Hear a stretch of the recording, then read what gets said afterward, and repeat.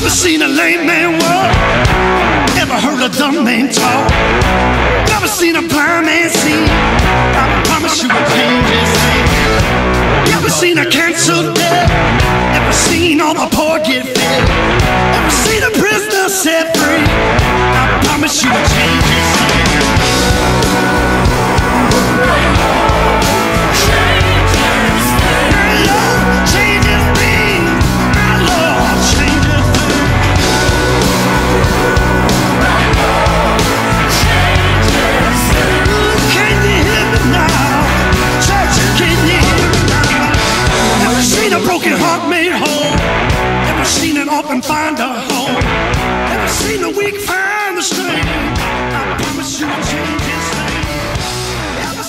Hey, everybody! It is time once again for the Big C and Bigger T podcast. Coming at you once a week, 94 straight weeks. 94 straight weeks of podcasting. Excellency, podcast magic, magic, magic, magic everywhere. like you would find on the strip in Las Vegas. Mm, Magic. Never mind. I don't, Hey Clint, how you doing this week, man? I'm good. I'm good. I think, you know, podcast a little bit delayed this week because I think your boys. This podcast can be brought to you by Mucinex. Definitely. Whatever the Dollar General version of Mucinex, whatever that is. And Ricola. Goodness, yeah, it is. Between those two things, that's how I'm surviving. You've been finding it for a couple weeks now. This is my Yeah, I just can't. I can't. Of course, I'm a big dummy. I, I'm going to the doctor Thursday, but um, I hadn't gone to the doctor or nothing. no, I haven't. Yeah. I got to go get the the Beyonce needs to sing uh, medicine. I guess. Oh, yeah, that'd be You good. ever, you ever watch Parks and Rec? I, I have, but I don't remember that one. It was when they had flu day. Mm. and um Leslie had to go do a like a speech or something that night. She went to the doctor, She said, I need the Beyonce needs to sing tonight medicine. Sorry. So, which, now, which one is your favorite episode of Parks and Rec? Because I remember you you like to quote that. Look, I want all the bacon and eggs you have. You may have misunderstood me. That's right. That's right. Bacon and eggs. I Ron want Swanson. all the bacon and eggs. He says, um, I like all the bacon and eggs. Well, and it's just so funny because it's set up. He's waiting to get to that steakhouse in Yeah. Indianapolis that night. And then he gets there and it's closed down. And then he goes to Rob Lowe's house and he's got, he grills mushrooms and feeds him salad. You know, of course, Ron Swanson won't eat salad. Anyway, I love that one. I love the one where, uh, uh, another flu day one um, where Andy's trying to look up the symptoms on uh for Leslie to find out if she's got the flu, and he says, uh, "It says you has connectivity problems."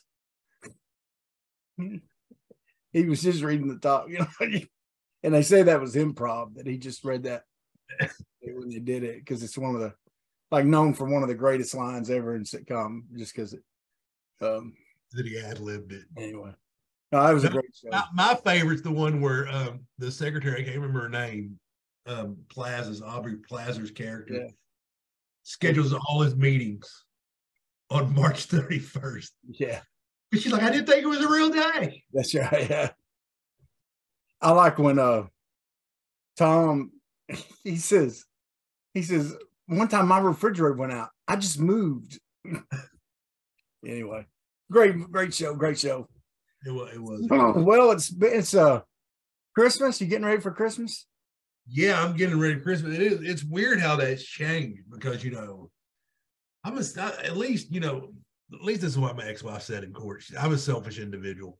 Um, no, but uh, I used to be all about you know what I would get. You know what I now I'm older. I'm 46 years old. I got kids, got stepkids, married, and it's all about like literally. I I'm an adult. I'm 46 years old. If I want something, you know what I'm going to do? Go get it. I'm gonna go get it. I'm gonna go buy it. I mean, there's not, of course, there's stuff I want that I don't have, but I don't want for a lot. If I need it, I go buy it. Mm. So it's more about, you know, now, you know, getting going and and getting presents for other people and seeing the joy that hopefully, you know, it brings them. Now, now when you were a kid, was there ever a Christmas that you got something that you just something that just sticks out in your head? Like, oh man, I wanted this, I got it. Yeah, there there's a couple. Um, my first BMX bike. Oh yeah. I lived in Clinton and literally could buy. You know, my my I kind of lived in town, and so my bike was my transportation. And I could go anywhere, and it wasn't even a it wasn't a name brand. In fact, the place we bought it from, I think, lost the stickers that go on it, so I didn't even have stickers on it that said the brand brand on it or whatever.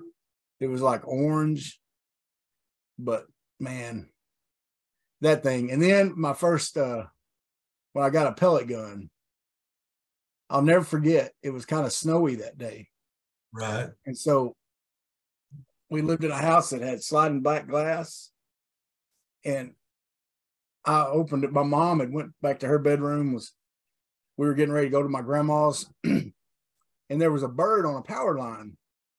You know, my mom told me, don't shoot birds because it's illegal, you know. And so, you know, and I'm about eight, eight years old, something like that. So I put a pellet in my pellet gun and I line up and I shoot. And it was a long way across my backyard. And I hit the bird. Like I didn't think I never thought I was gonna make it. Like it just fell straight to the ground. And dude, I was so scared. I was like, the cops are gonna come get me. They're gonna come get me for killing a bird. But they didn't, thankfully. I survived and a dog probably ate it. But Probably. what about you? Was there a Man, you know, it, it, it's weird because I remember, you know, the one that always sticks out of my head because it was so simple. Like it just reminds me how how young and innocent I once was. But all I wanted was a fire truck. I used to want to be a fireman so bad. mm, As growing up, I wanted to be a fireman. That's just what I wanted to be because it was like, okay, it's cool. So I remember just getting a fire truck and then opening up Christmas morning. It was before we'd ever moved in that house. We, I think we were living in a in a single wide trailer um, on my mom and papa's property. Mhm. You know, and then just opening up, having the fire truck. It was exactly what I wanted. Mm. And then you know, then they did get me those. Like when I was in college, I believe they did get me those sweet golf clubs. oh They got me those black cat replicas. yeah, yeah. I still got my set of those. You know, and I probably do. My, I probably they're around here. They're somewhere. I have no idea. I haven't played golf for long. Yeah. I was. I enjoyed, you know, when it came to golfing, I enjoyed, you know, going hanging out with you, having fun, spending three hours, you know, uh, roasting Robert, um, what, whatever we would do, whatever we would do. But I, but man, that that fire truck and those golf clubs, they stick out of my head. Now, was there ever a gift you didn't get? there was one year and it made worse because you're you're an only child so you never had the misfortune of seeing your brother get something you really wanted. Better than you? Yeah. No, I never. yeah because you know when we were when we were 12 13 14 gi joes were the toy Yeah. you were that was the toy that was the end all be all of toys was gi joes Mm. um, and they had shrunk them down where they were a little bit more and me and paul and dusty we all collected them one year for christmas i didn't get any gi joes any gi joes Yeah. paul got two gi joes Oh man. and at the end of it i was just like and mom always went through great mom and dad would always try to make sure it's as fair as possible that if they, you know, if I had 10 gifts, Paul had 10 gifts. They spent about $200 on Paul. They spent about $200 on me. Yeah. They always did their best they could because you're in a no win situation when you have two boys close to the same age. Yeah. You're always going to think you're playing favorites and all that. Yeah. I just remember going, I didn't get any G.I. Joes. Hmm. Mom started crying. Mhm. Like, I feel so bad now because I know, you know, because you see that as a parent as we got older, how like how hard they were trying, Yeah. and how just what a you know a turd sometimes we as kids could be. Yeah. Like, "Ah, my, my gift that I never got is very similar, but I wanted the GI Joe aircraft carrier. yeah, I wanted it so bad. that's the holy grail of toys. I asked for it for like three years in a row. Yeah, Okay, and so when that's your number one gift three years in a row, that's something you want. But the problem was, um, my neighbor had one, and my mom saw it. I showed it to her. You know, we were over there one night, and I said, "Mom, see, this is what I've been asking for." Well, the problem was it wouldn't fit in my bedroom. Like it would have, it would have taken up all my play space in my bedroom because my bedroom was pretty small, and we had a nice little house. It just didn't have, it didn't have big rooms, right? And so, as an adult, you know, I thought, you know what? I'm gonna look up up on eBay and I'm just gonna buy me one. No, sir. They're like a thousand bucks. yeah, they're yeah, that's outrageous. Yeah. Especially if you get all the parts with it. You can get them a little cheaper when they don't have all the parts. But if I'm gonna buy it, I want all the parts. Anyway. Well, um, it's been a crazy week in college sports. And it's just absolute insane week. You Lots know, of I, stuff happening. The Razorbacks. You know, and it's funny. I, I went back and I was, uh, and I, I was showing somebody something on on the first podcast I think we ever did with Patrick Netherton, and we talked about we were talking to NIL, Wild Wild West, all that, and we're like, and then and that goes, you want to talk the Wild Wild West? The transfer portal is the Wild Wild West. Yeah. And this was before it got crazy. It was just us two years ago almost, two full transfer portals ago, saying this is going to get crazy. Yeah. And oh my goodness, is it getting? I mean, it is. When you tie in and then just tying in the NIL with it. Yeah. you know. Um, but you know, just to kind of update on where we're at with the Razorbacks, we're um we are recording this on National Signing Day, so it's it's Wednesday the the twenty first. Um, now the big changes, of course, is coaching changes we've had at Arkansas. We've lost we've lost Odom, we lost Dow Loggains. Um, Odom went to UNLV, hired Bobby Petrino as his offensive coordinator. So, what do you think of that hire? I think that um I think Bobby probably could have got a bigger school as a coordinator, but I think it'll be a good place for him to I don't think he was going to get back into big time D1 at Missouri State. Just because I don't think he can recruit the talent there to do it, to to do good enough where a big time school is going to say, Yeah. you know, you know, a power five school is going to come to him. I think if he goes to UNLV, does well there, then maybe gets a power five offense coordinator position, and then then he might could get back into. I think, I think he had to kind of punt and go. Yeah, well, he finished five and six at Missouri State, which I think they come in. I mean, which has to be a disappointing season. Now, who knows? They may have had a ton of injuries after they played Arkansas. Yeah. because I think Arkansas was their Super Bowl. Yeah, I really do. But but who knows? I mean, so he didn't exactly light the world on fire last season at Missouri State. And now you've got so I think it's a great hire for Barry Odom if you know Bobby's been humbled a little bit. Well, you know, the rumor was that he was going to go call plays for Jimbo. yeah, that wasn't gonna work out. I- well, it, it's kind of like I think that's the situation because you know we talk when you have a head coach that's been the off who's called his own plays, offensive coordinator because we had that at Tech with Mullins and Racono, where you know they butted heads quite a bit. Mm. You know, even Racono alluded to it a little bit on the show, like yeah, the other day it was Steve's way, and we didn't always see eye to eye, but Um, Well, and and and your offensive coordinator is a guy that's used to being that guy in charge. yeah. So that that was not going to work out good. That wasn't going to work out good at all. No, When their offense started doing good, then people would start saying, "Let's just move Bobby to co- to coach." yeah. You know, that, and that's what was going to happen. I mean, that's the same. It's similar, similar to what Houston Nutt went through with, you know, Gus. with Gus, except Bobby's a proven coordinator and Gus wasn't proven yet. Um, you know, as far as in D one, you know, college football. Yeah, So- and it's going to be, and it's hard when that's something you enjoy. Yeah. You know, if, if you enjoy calling plays, like Houston Nutt loved calling plays. Mm-hmm. That's why he didn't want to hire an offensive coordinator for so long. Mm-hmm. You know, and Jimbo Fisher loves calling plays.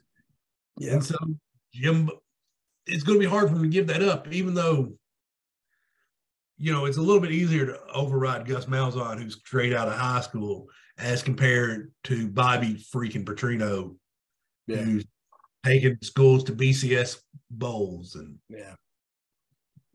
Yeah. And then, of course, D- Dow went to South Carolina, um, you know, which most people believed he was our offensive coordinator in ranking and, and waiting.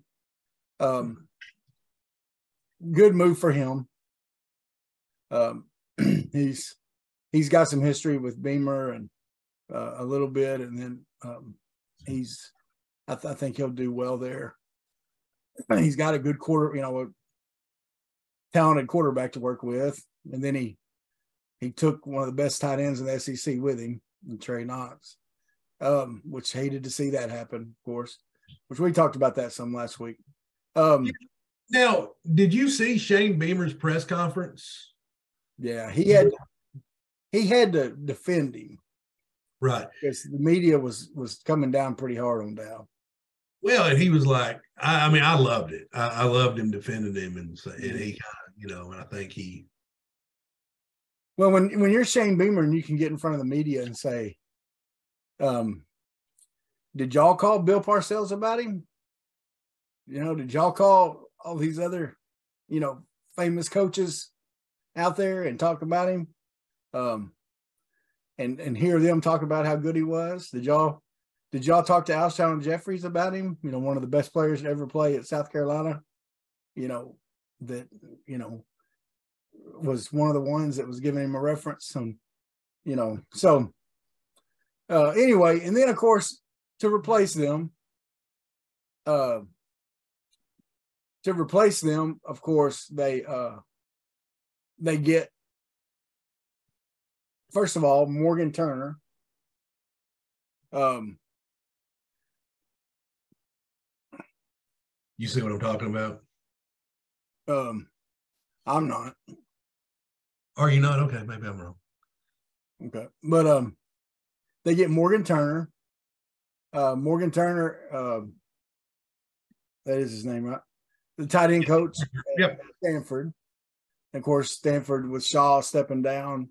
Morgan was looking for a job. Here's the thing, Clint. Morgan Turner, in some ways, he's like a Sam Pittman. He has he's considered one of the best tight end coaches. I mean, Stanford has put a lot of tight ends in the NFL. And then he already has a love and a connection to Arkansas. He's got family in El Dorado. They have a lake house on Lake Ouachita. okay. Um, he's and he said he remembers uh he when he told his kids where they were moving, he showed them the logo, the Razorback logo, and his little boy said, I remember seeing that when we go to the lake. He said, and he noted, you know, he remembers, you know, being in El Dorado and seeing, um, seeing Razorbacks on businesses down, you know, five hours away, things like that. So, um, and he's recruited in Arkansas. He he recruited Henry. Right. Yeah. He was in high school. He, you know, he's recruited in this area. He's so. Uh, I think it was a. I think it was a great hire. No, I do too. And we did, we inked at least one of our tight end commitments, one of them decommitted, um, which, you know, isn't to be unexpected when you have a change. But I mean, the end of the day, we really need to sign three tight ends, you know? Well, 'Cause- but so the other one, uh, the one from I think um and then we get Travis Williams. Yeah. He's a former um, played for Auburn. Played uh, was a really good t- uh, linebacker there. Ben Gus's defensive coordinator at UCF, and um, he he checks a lot of the boxes. He's energetic. Supposed to be a good recruiter. Um, he's Pittman said he's wanting someone that's multiple, but it's going to run more of a four man front, which you know a lot of fans have been wanting. Which, if you look at our team, you know, look at the team with Landon Jackson and Jordan Domineck. Those are those are four three defensive ends. Now Yeah. Jordan can play both. Landon Jackson's a four three defensive end. You know, he's he's a guy that you want to be able to spread him out a little bit on on that one side and you know run some overs and unders with him and and uh let him just out quick the tackles and you can do that in, in a three man front it's harder to do um so i'm i'll be honest with you i'm excited about him he seems energetic uh he seems like a guy that the kids like you know i saw a video of him when he was an assistant at auburn he got up and did a freestyle rap, you know, at the end of practice or whatever. I mean, this was a few years ago when he was younger, but um, did you watch the press conference with Pittman and I, I did, and I, I did. I watched the entire thing when he introduced both of them, and I my favorite part of that was you know to hear the tr- the plane tracker stories. yeah, He said, "I felt bad. I guess was it Temple's, Maryland, huh? Maryland's. Maryland's." He goes, "I've never met the guy my entire life." They were there seeing that recruit, which signed with Arkansas today, the defensive end from uh, a pit, Fans had tracked the plane to Baltimore. yeah, Baltimore. So they thought they were talking to him. So then they flew to Tampa. Yeah, That way they didn't go, they weren't in the same city as the UCF coach. with Turner down there, and then then went over and met with Williams.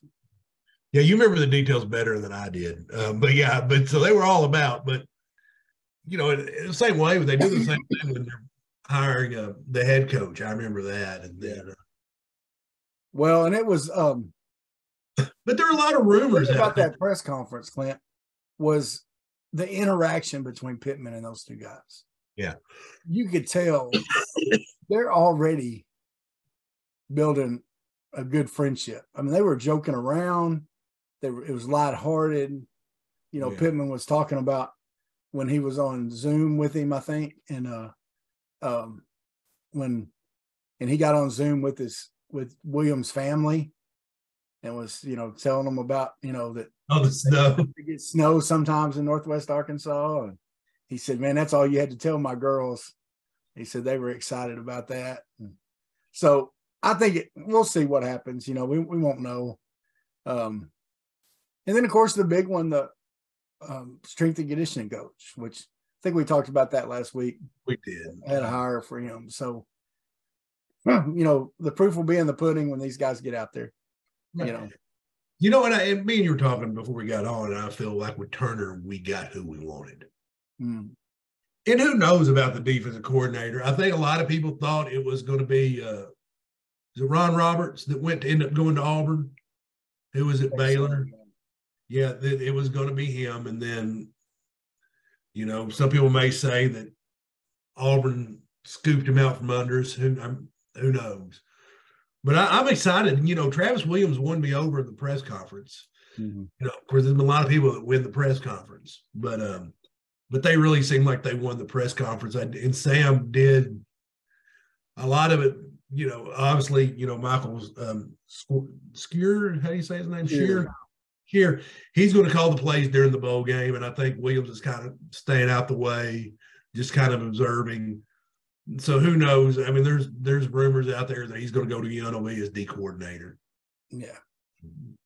And so, because he was Pittman was pretty non-committal.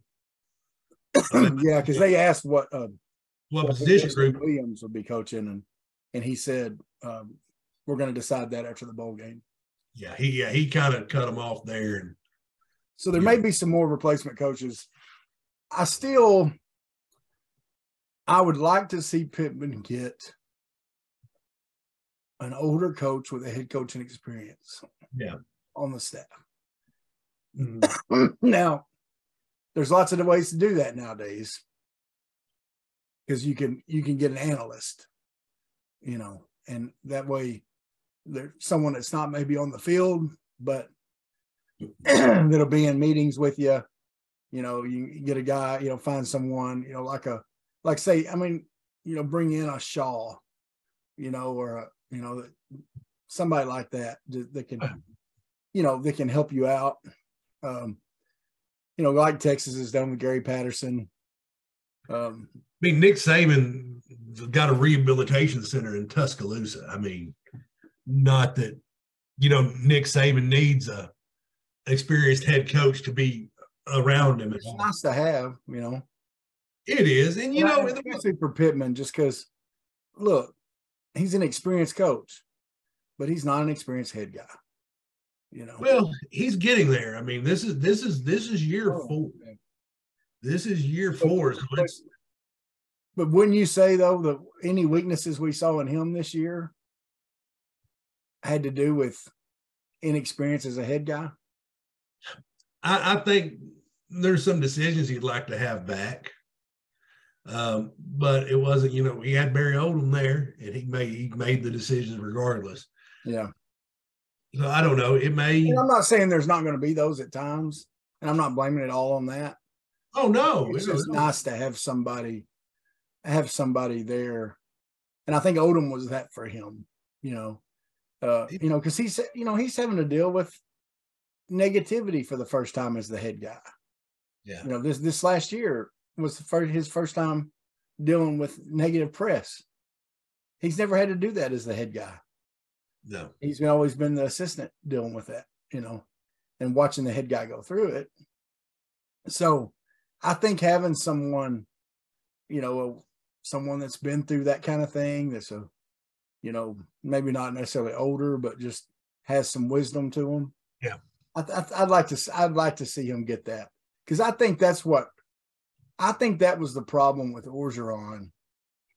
I don't think he had anybody like that. I may be wrong. I, I don't know enough about his staff. Um, but I think when he started losing some of his trusted coaches, you know, he had some guys that were that were uh, head coach material, Aranda and Brady. Once he lost them, that's when things started going downhill for him. And um, I think I think Pittman, I, I just think Pittman needs that. So anyway, No, you know, and maybe Coach O would be the right one to get in there as an as an analyst. yeah, I don't I don't know about that. Well, I don't know. I, I mean, I, Coach O is a fun character, but um, yeah, I don't know. Uh, I don't I don't know too much about his wisdom. um, um, now we've had some, we've lost some recruits, um, and you're going to have that with coaching changes. You are, yeah. Uh, you've had a couple tight ends back off. Uh, you've had a big wide receiver tease, four star. Uh, he's um, no longer committed. And then one that I was really excited about, the big, he's only a three star, but that big old defensive lineman from Georgia, they Oh, yeah. was doing backflips and stuff when he was visiting at, at Fayetteville. He decommitted, which uh, I'll tell you one one school that's going in and, and trying to poach a lot of players is Auburn. Yeah. Hugh Freeze has jumped in and he is he is poaching poaching season is open with him. Hugh Freeze is a terrific recruiter. Yeah. He really is. He is. He is the opposite of Lane Kiffin. Lane Kiffin's not a very good recruiter. Great X's and O's coach. Yeah. I would say, you know, he's the exact opposite. Hugh Freeze. You know, the man put like a top five recruiting class together at Ole Miss. And that was without NIL money. What? Yeah. He had some other money. Yeah. Had some other money. Yeah. Had some- he had some other. Now money. he's got he's got all that legal money behind him. Yeah. Now, speaking of all that legal money behind him, now I, I'd shared this on the Facebook page. You know, and I think on Instagram there was a report from from a coach, and you, um, I can't remember the coach's name. I think it was the head coach of Pitt City. He goes, I know for a fact that the North Carolina quarterback Drake Maye had a five had a couple of five million dollar offers to transfer. Do you believe it? Yeah. I, It's well, here's here's the other one, Clint. go ahead. And I don't know if we've I don't think we've talked about it on here. But there's also a rumor that KJ, our captain, our quarterback, got money offers from two other SEC schools, Auburn and Ole Miss, and that Arkansas had to match it for him to stay. Now, I don't know if that's true. It's a rumor. Right, yeah. It is a rumor. Okay. It is a rumor. But you could see that happening. No, you 100% could. You know, I mean, it's uh I mean, what was it? The the wide receiver from Pitt that ended up going to USC. Yeah. There was a rumor like, look, I'm getting a million dollar offer. If you'll match it, I'll stay. Yeah. I can't match it. You know, it's He had, just he had won an award from the best receiver in NCAA football and leaves that school that helped him get that yeah. to go to another one. And yeah, I it's crazy.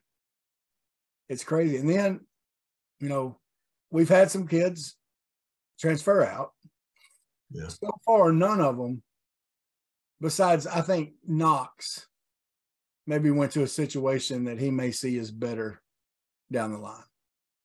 Just because um I think Loggains, if if we don't know for sure what's going to happen, if Loggains uses the tight end more than what Arkansas's done, Right. then it may have been a better situation. But Myles Slusher went to Louisville. That's not that's not a better situation he was in at Arkansas, I don't think. I don't think Ketron Jackson's in a better situation at Ole Miss. I mean, at Baylor. Did he go to Baylor? Baylor, yeah. So Um, uh, our boy Reid Bowers at Memphis. Well, and you can you can't blame Reid because Reid was in a situation where he was sharing the punter duties Yeah. And holding. You know, I don't think anyone goes to college to be like, I want to be the holder. Yeah. I mean, you know, Well, now he enjoyed holding. he did, but I mean, but still, you know, he would probably rather focus on punting and other Well, things. and, and it was obvious they were trying to get Fletcher in the game as much as possible.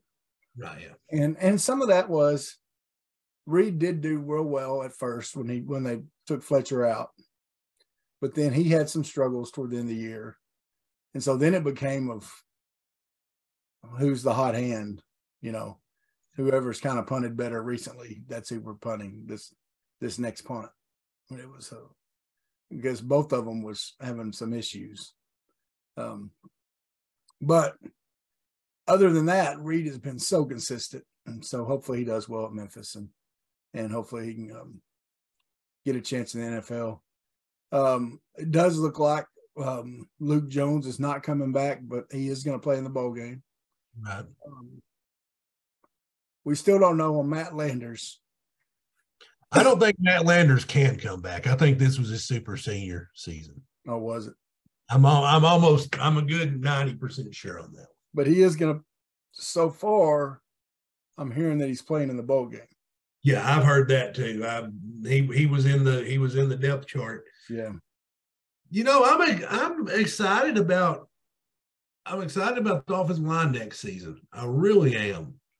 because Luke Jones, them other guys, Stromberg, those those are Chad We're gonna Morris. miss them. Huh? We're gonna we're gonna miss them. We're gonna miss them, but I'm excited about seeing the offensive lineman that Sam Pittman has brought in.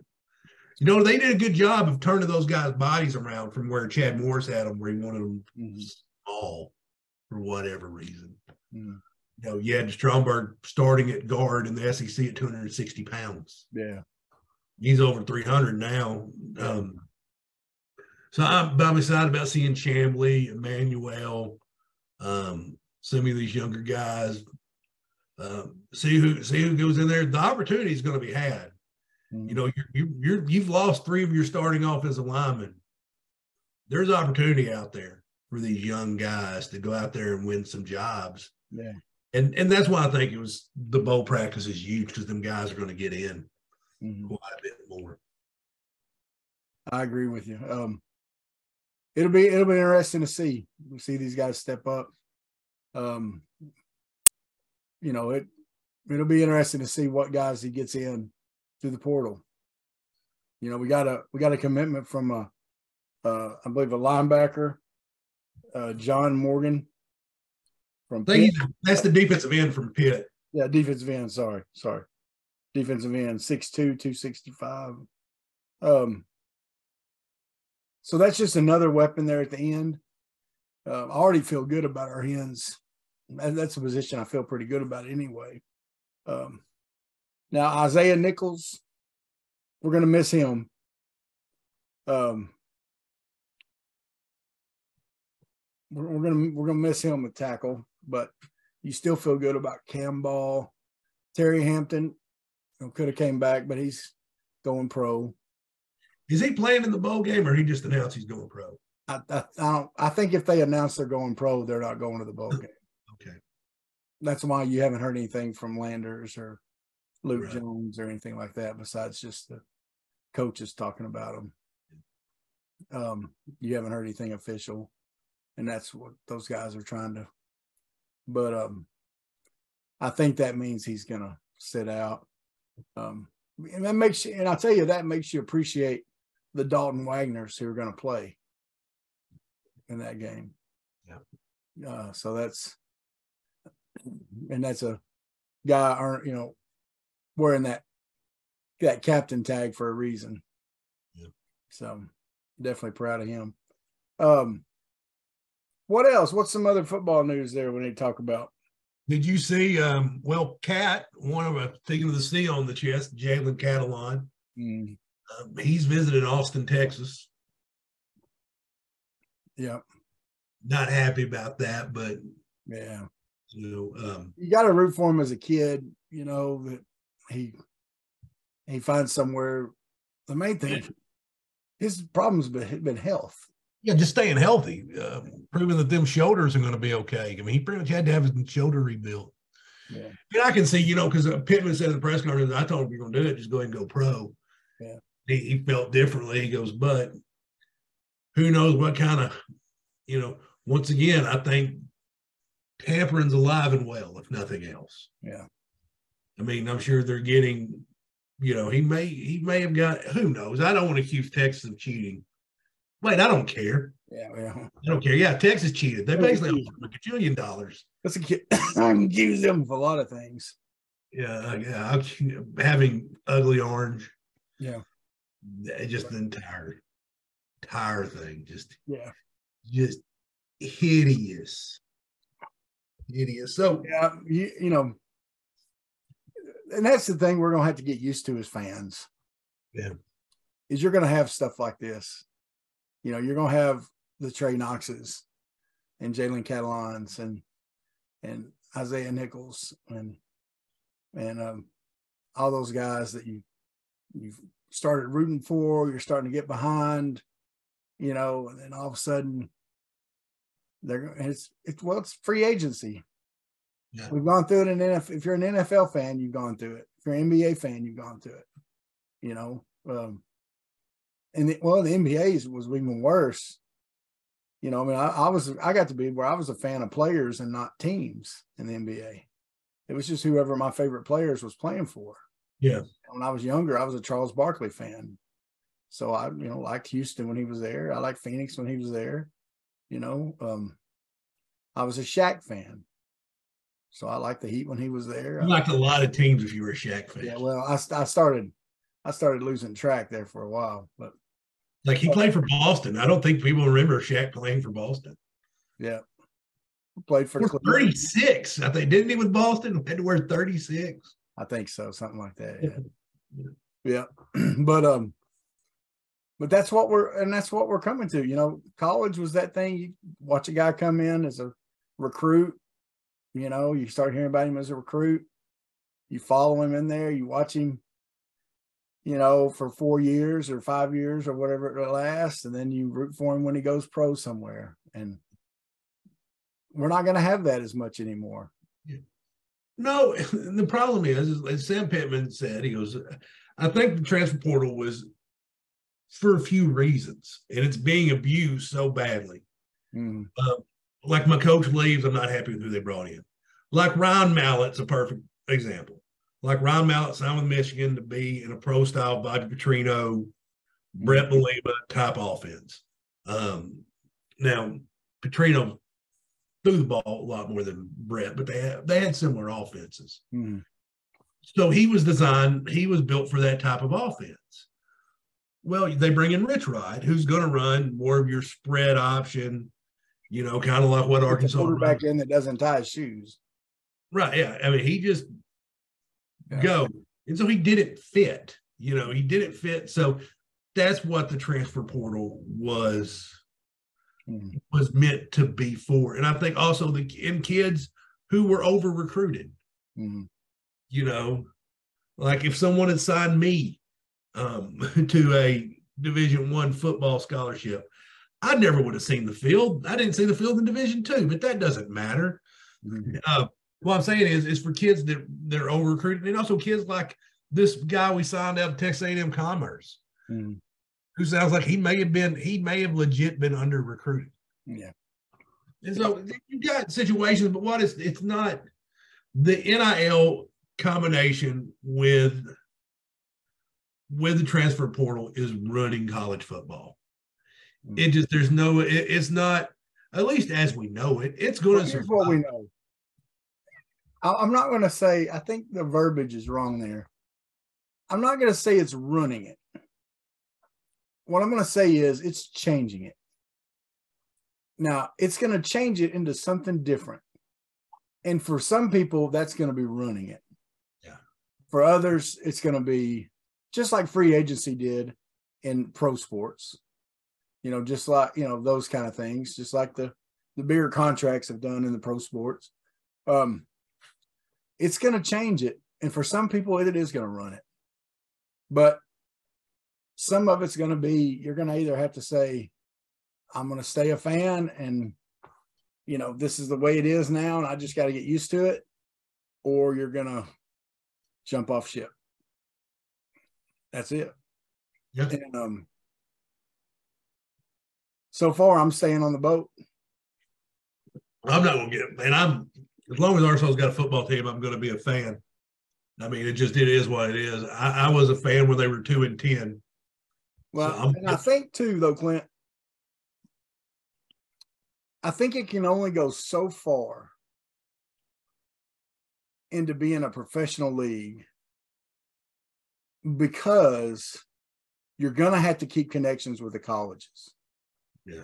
Okay.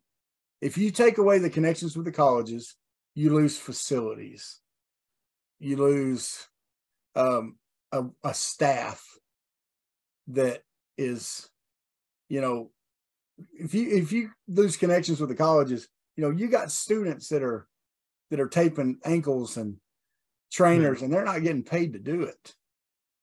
You know, or it's their work study. You know, so you're paying them, you know, minimally, very little money, but they're doing it because it's training them for their career. And so you have a huge work staff for the TV video stuff, all that kind of stuff. Okay. You, you have all that. So if you go, if it goes too far, you're going to start losing connections with the colleges. And we may see that in the next year or two. Because what's going to happen is, is people are going to quit giving money for buildings because they're needing to give it to NIL.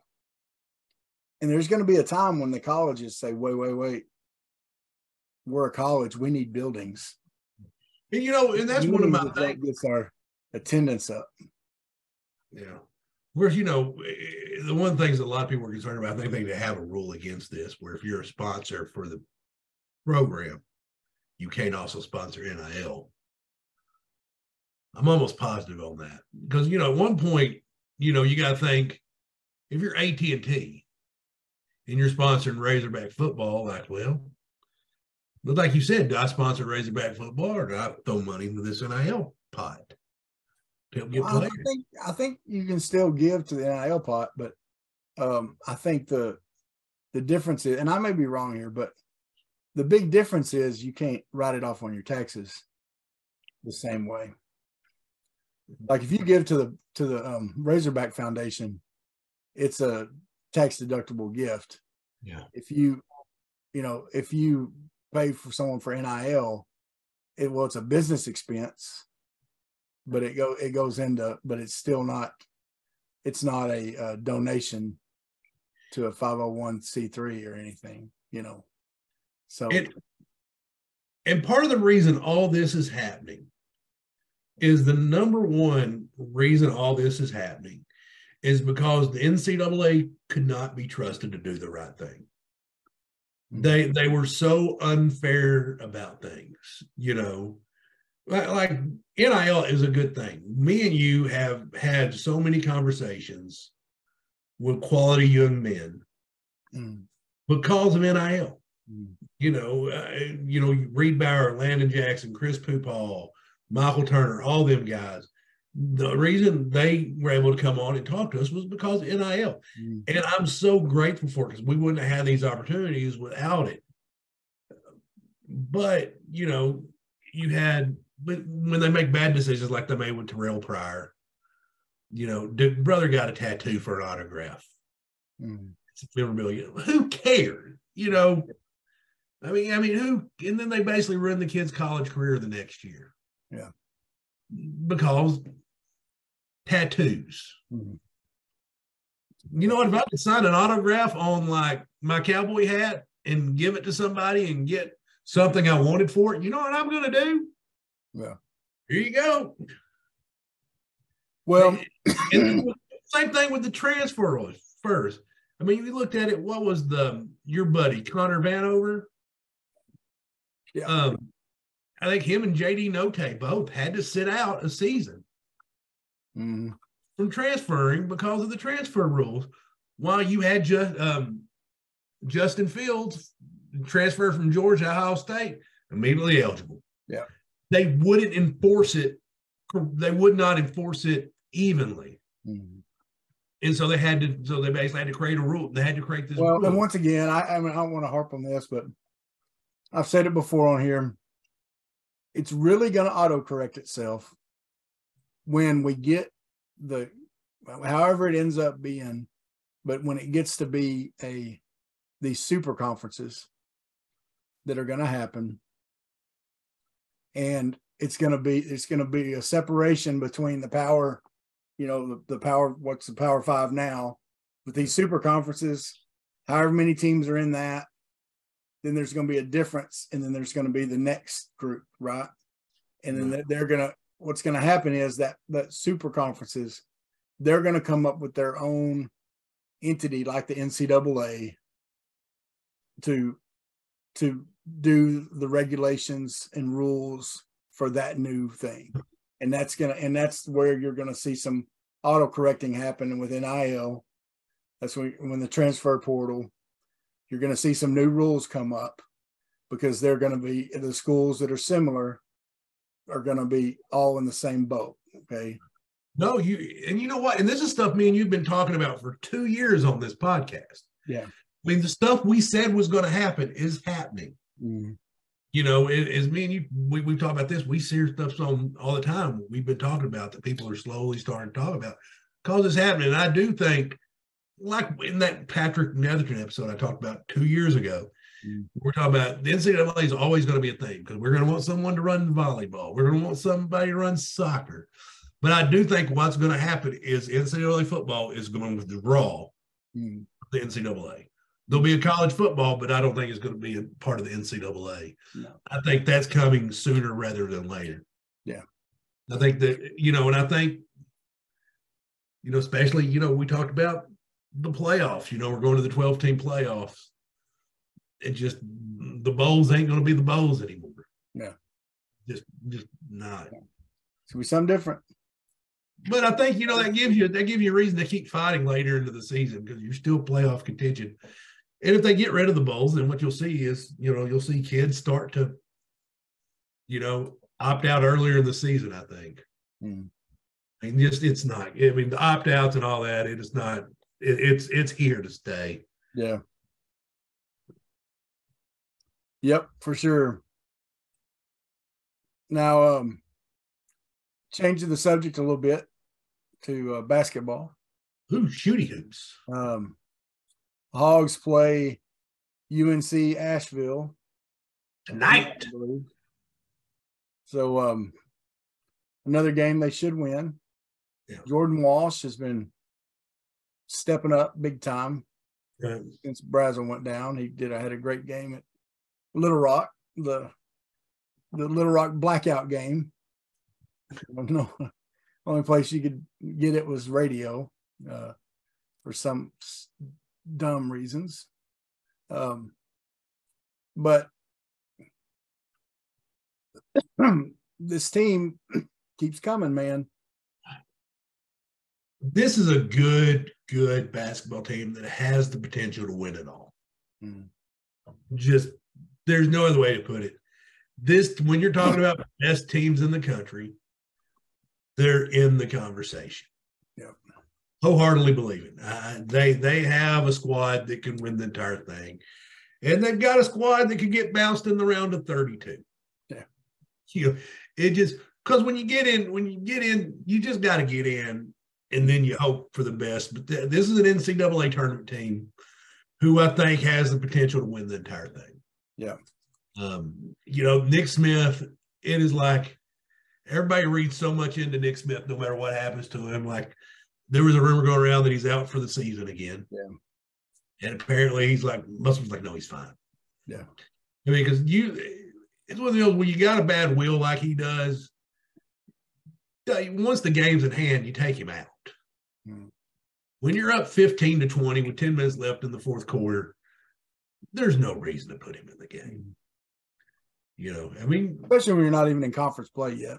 no, you're not even in conference play. It's not, you know, it's he's fine. You know, he- so I think you know he's doing what he should with an abundance of caution, and us uh, us Twitter experts, we need to we need to back off a little bit. Yeah, you got you got to like what you're seeing from this team. They're they're gelling. You're seeing improvement from players already. Um, and so we'll see. Um, Because it's usually not until about now that Musselman's team seem to start figuring it out. And well, it's a lot of times it's once they get a few games into conference play. Yeah, I don't, and I don't think. I mean, they're not done making dumb freshman mistakes. Mhm.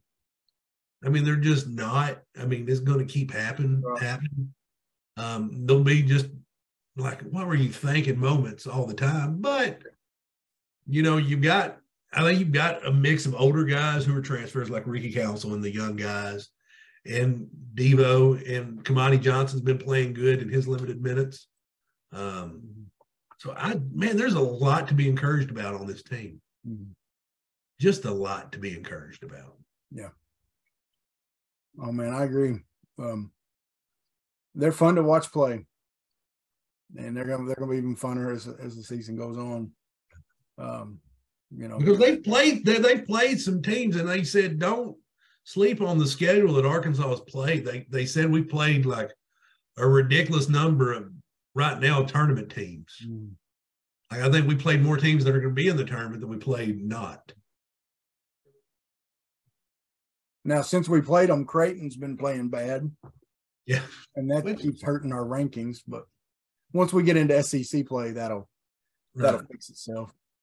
Yeah. Now, the, now we don't need to sleep on it. There was a it was a bad day in the SEC. Yeah. Um, I think Ole Miss lost to North Alabama. Yeah. Yeah. We played North Alabama in the Gulf South Conference. Now, of course, they've since moved up, you know, because uh, Florence, Alabama is a booming college town. Yeah. Yeah. Yeah. Now, I know we don't talk about this a lot, um, but there's been some uh, big, big things happening high school football in Arkansas. Like I said, I know we don't talk about this a lot, but I just wanted to mention it. Clay Toddy, who was 25 years the coach at Rison, is now gone to Wynne Arkansas to be the, the head coach there. The Yellow Jackets. The Wynne, yeah, or as Patrick Netherton, uh, our buddy Patrick, he uh he used to call games for Arkadelphia when we were in college, and Arkadelphia played Wynne in the um, playoffs, and he kept calling them the lose Yellow Jackets. but um, but that's a big that's a big step, man, for a guy 25 years been at Rison. Of course, it's small school at Rison, and then now he's moving up into 5A, following following oh, uh, Dan Campbell. Coach Campbell used to pass maybe one time a game, if that. But um, that's going to be an interesting, interesting uh, change there for uh, for Toddy. That's a that's a. I don't think a lot of people were expecting that too much. So, anyway. he's probably at the point in his life. He's like, "Well, I'm not going to do it now. I'm not going to do it." Yeah, and and that's a place you know they they had some drama. I don't know if you've heard about it, but the you know they uh, Van Paschal was forced out because uh it was dumb. It was a dumb thing. Um, I read something about. I don't remember the story when it got a rehash. Uh, my buddy Michael McDaniel played for um, Paschal and still real good friends with him and his family, and he went to the school board meeting and there were some things they said Paschal did, um, but what it came down to was personalities not getting along, you know, people and people wanting him out kind of thing. And so anyway, but it was a real dramatic thing. Okay. It was a five hour school board meeting. And so that's what surprised me a little bit about uh, Toddy going there because yeah, that's they still win still made the playoffs without their good coach, you know, good head coach. So they got a good team, they got good talent. You can win, you can win and win. You know, yeah. They're, oh no, I play I played college ball with some guys from there. They they have some players go through there. Yeah, you can you can you can do well there. They have some athletes. So it's a good move for him in that aspect, but it is kind of a tough situation to jump into because it is he is jumping right into some some drama. Some drama. Always the drams. Always the drama. But um yeah, man. Uh, so the hogs, you know, right now there's a lot of, um, you know, right now we're kind of in this uh, wait and see mode and everything, aren't we? Kind we of really are, but it, it's, what's it's, basketball going to do? What's what's going to be the changes to football? Why, how are you know what new additions are we going to end up getting? Because once the bowl games are done, then the transfer portal is really going to get hot. Yeah, uh, even more so. Yeah, I mean, because I, I, think that's when you really you'll you'll see more movement. When when's the portal close? Like the fourth? Uh, or is it the ninth? Yeah, I don't know. I don't know. So we still have time, you know, to go, and I think you're going to start seeing more additions. You know, Pittman did address, you know, in that same press conference, some of the needs they have. They're going to be looking for a veteran linebacker. Mm-hmm. Um, now, the Liberty Bowl's the next week. Is there anything you're really excited about? What What are you really looking forward to seeing in the Liberty Bowl? Is there a particular position group? Because for me, I'm really interested to see how the linebackers play. Because it's going to be your first game without Drew Sanders or or Bumper Pool. Mm-hmm. You know, the first game of the post Bumper Pool era I'm I'm looking to see it how Manny Powell, um, Crook, and Pooh Paul, how them three hold it down. I agree with you. I think uh, I think the defense as a whole, just seeing um, without Pool, without his leadership over there, you know, because here you are, no Pool, no Catalon. You've already not had Catalon, right? But no Pool. You don't have Sanders. Um, this is where people like who you think's going to be the leaders next year, which I'm, I'm sure they will be, but like Pooh Paul, Jordan Domineck, where they're going to have to step up. Hudson Clark, um, Quincy McAdoo. See what you know after he's got more Yeah, now I'm looking to see what he does after a full, you know, practices. yeah. I mean, basically like going through a little fall camp. Mhm. So yeah, it's gonna it's gonna be interesting. I think just the defense as a whole, see how they do. Um, I'm also going to be anxious to see the intensity that we play with. Yeah. Because, like it's been said by lots of reporters, I think, and been asked to Pittman and everybody, you know, Kansas is coming in with the with the kind of the fire in their belly because this is the first time they've been in a bowl in a long time, and so they're ex- they're excited to be at the Liberty Bowl. For Arkansas, we're kind of well, at least it's a bowl close to home. you know, we're not as excited about the Liberty Bowl, and so um, teams that are like that a lot of times don't bring the intensity into the game.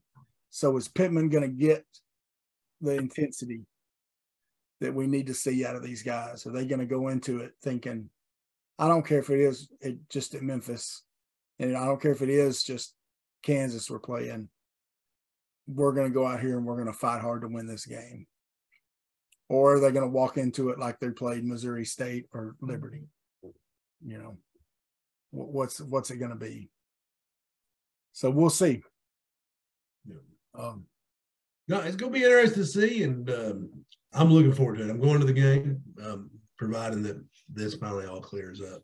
well, hopefully it won't be as cold as uh, I'm hoping not. I'm about to go buy me some thermal. East Carolina game. I would have died if it wasn't for some hot chocolate. Yeah. I just just having the hot chocolate there to put your hands on and to drink it kept me alive, I think. Man, that was a cold, cold game. Well, Clint, it's Christmas time. It's uh next week. Christmas will be over. We'll be talking Right. about New Year's stuff. Um, but uh, what's your uh, what's your Razorback Christmas wish for this year?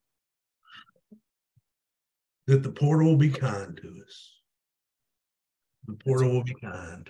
That is that is my wish that all our dreams come true via the I'm going to ask Santa for a NCAA basketball championship. hey, I'm going big that's a good one. I'll take it too. I'm going big time. Yeah. I'm ready to get as fired up about basketball as we was when Oliver Miller Yeah. played and when Corliss played, and uh, and I think we are, you know, we're to that skill level now for this team. Um, but I'm I'm ready for that. I'm ready to, I'm ready for a basketball season where we go through SEC play with sold out home games all year long. That's that's gonna be fun. And it was fun that the Little Rock game was sold out. It, it really was. It just And then we finally played well there. Yeah. well, I heard them talking on the buzz, you know, about how Arkansas used to be play a couple games in Pine Bluff, a couple games in Little Rock. Yeah.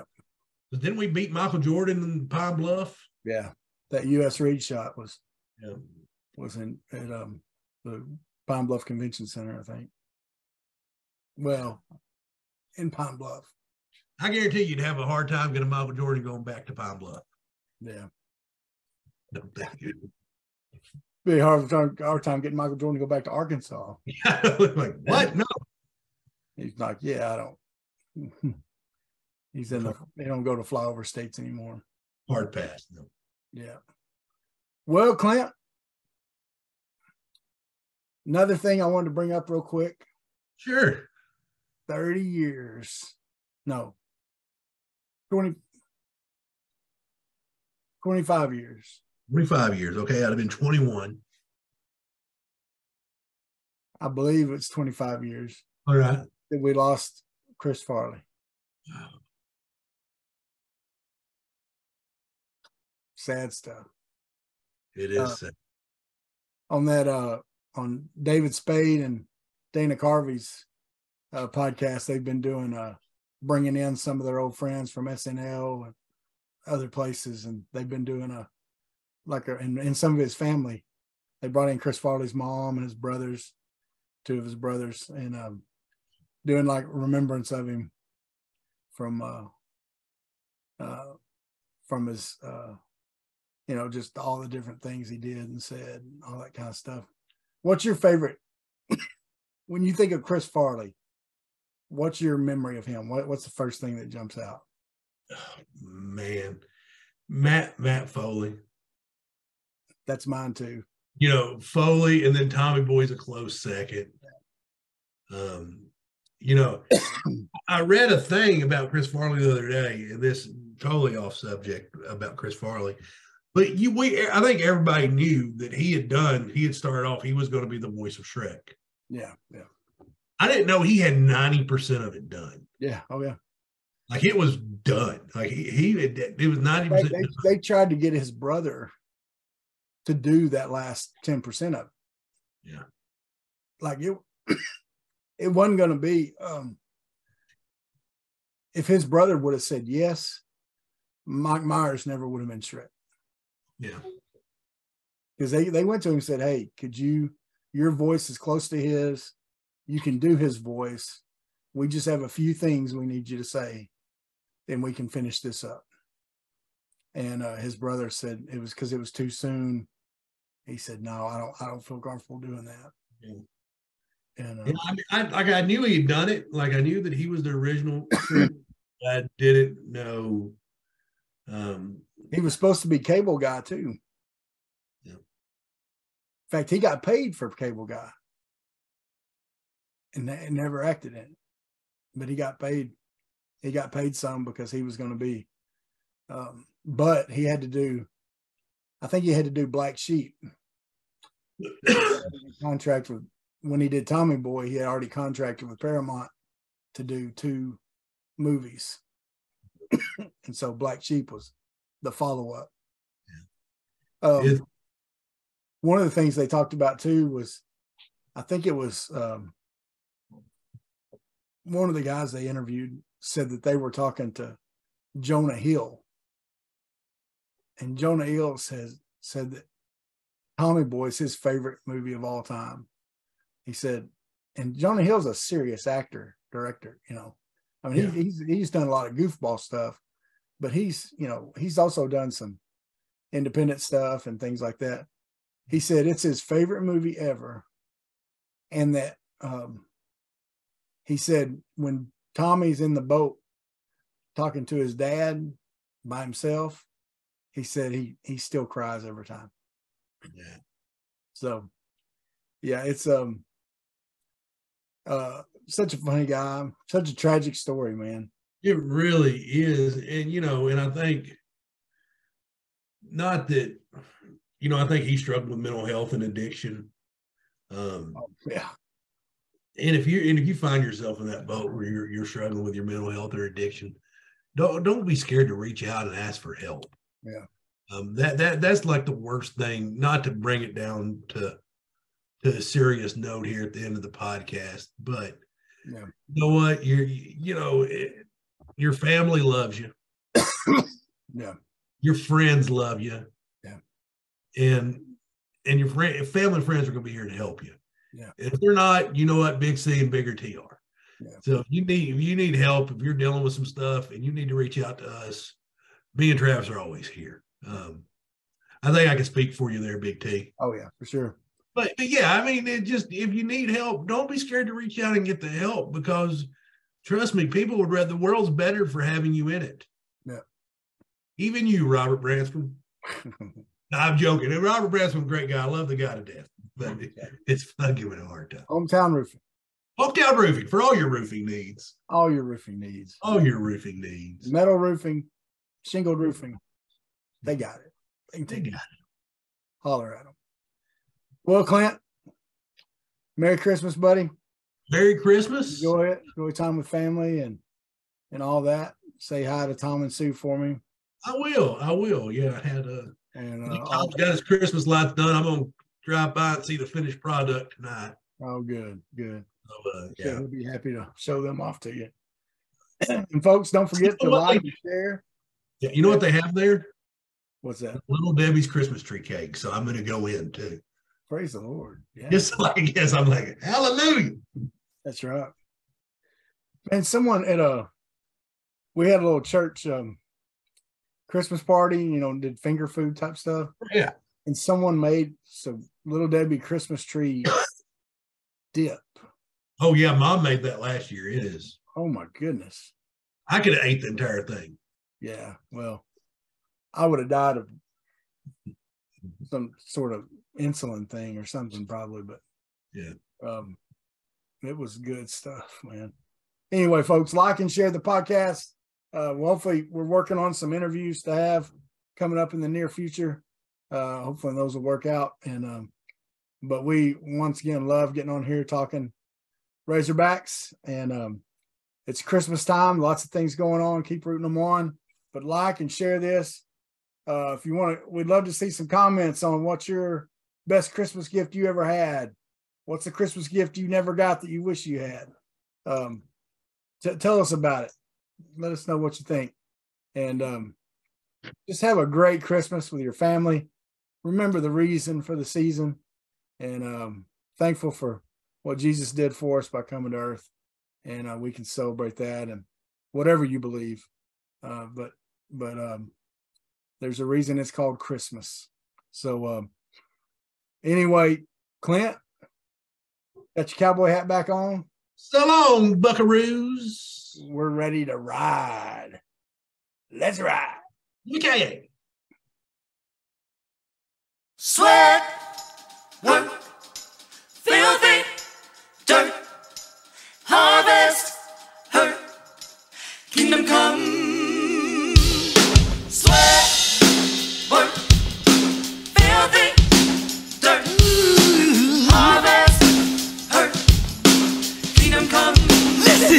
Why I sweat when I work. My hands get filthy down in this dirt. Won't see no harvest till I hurt. Crying your kingdom come. Listen, I wake up in the morning. I bow my head to pray. Mama told me if I don't, ain't nothing gonna change. These prayers breaking up drive.